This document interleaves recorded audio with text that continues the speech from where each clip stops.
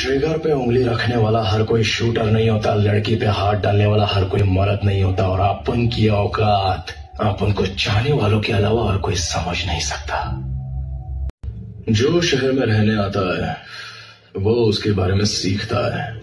जो राज करने आता है, वो शहर को अपने बारे में सिखाता है। If you think you are bad I am your dad